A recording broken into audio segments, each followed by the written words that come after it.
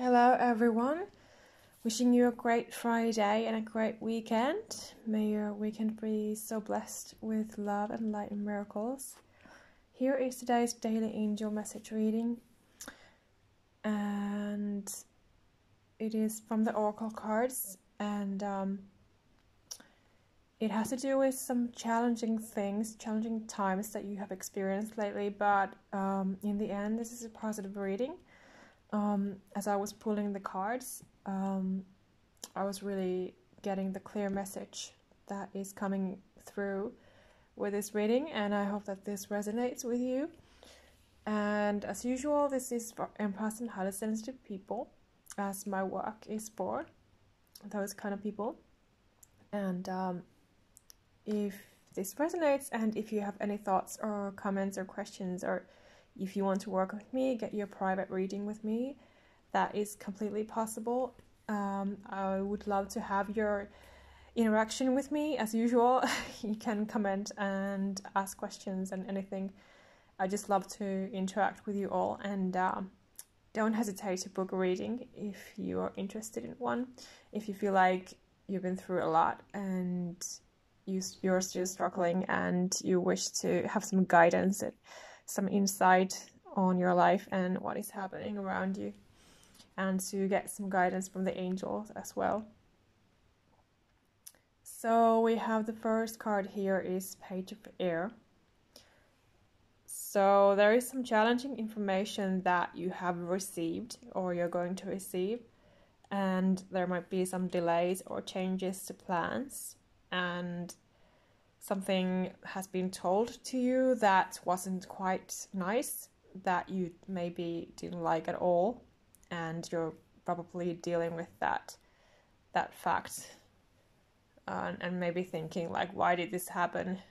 Um, and what is going on etc so i feel like with this message you have been coping or you're coping right now with something and it might be pretty serious for you. It's something that you take seriously.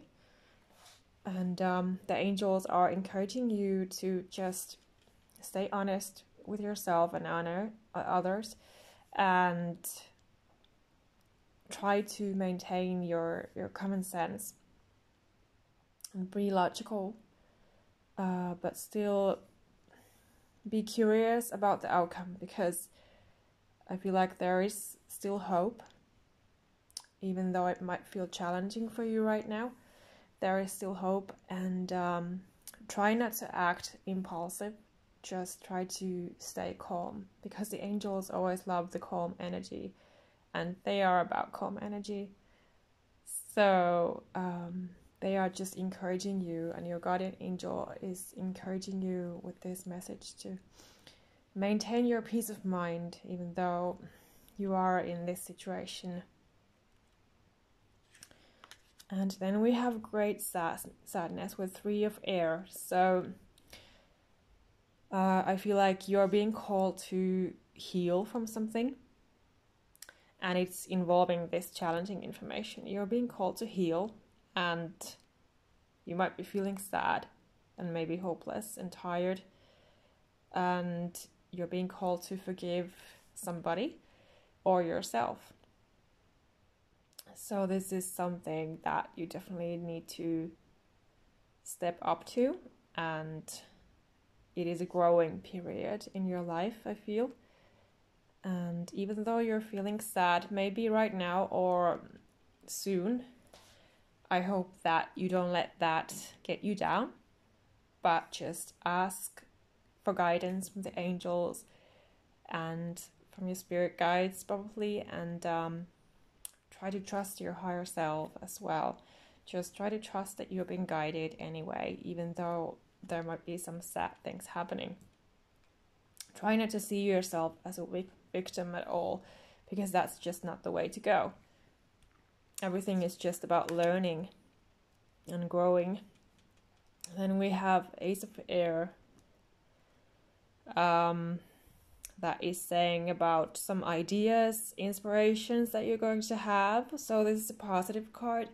This is in the future, I feel, and there is something that will be a revelation for you and you're going to start seeing a truth of something and maybe you'll you'll get an aha moment like okay this is what this is about and something new might be beginning for you but it, it might feel challenging but just still try not to be scared. Um, it could anyway just lead to something happiness uh, some, some something happier. And i feel like it will definitely. It will be um, a positive change that you will experience uh, soon in the future, but um, it might feel challenging at first. So just take what resonates with you. Uh, King of Earth. So here are the positive cards, the final cards of this reading. Successful time. You're going to have Midas touch. You're going to feel like you're the king of the earth and um, there are so just some opportunities that will come your way and please just don't let those go unnoticed. So try to see them and, and just take them. Take them as they are which is positive opportunities. So you're going to be this like this king here responsible practical, generous, professional. You're going to be this this amazing strong person very soon, even though you don't you don't feel like it right now. I know as you're watching this reading. Um, this will come in a few months, I feel.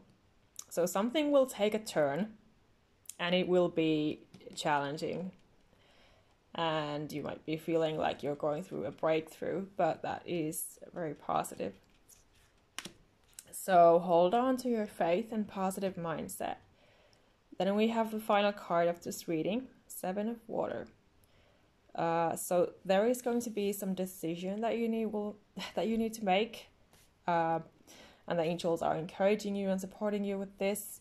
That you would just stop procrastinating because you need to move on. You need to take the steps. You need to maybe do some research on something. Maybe it's work involved, I feel, for most of you. And it is a change that is, is happening in your life, but you have to stop being stuck, basically. You have to embrace the healing, embrace the change, embrace the challenges, embrace a new situation, and you know, just take it and take the opportunities and you know set yourself free. And that is what your angels want to tell you. Your guardian angel always wants you to be happy and, and not stuck. And especially not stuck in an abusive relationship. If if this is what your situation is right now, that you're dealing with a toxic person or toxic job or anything toxic, of course you need to move on from that situation. It's not healthy. So anyway, you know your own situation, so take what resonates with you. But yeah, I would love to hear from you. And like I said, if you're interested in your own reading, you can always contact me um, by a message or email, or you can just book me through my website. So I wish you a great rest of the day, and um, thank you again for watching. Namaste.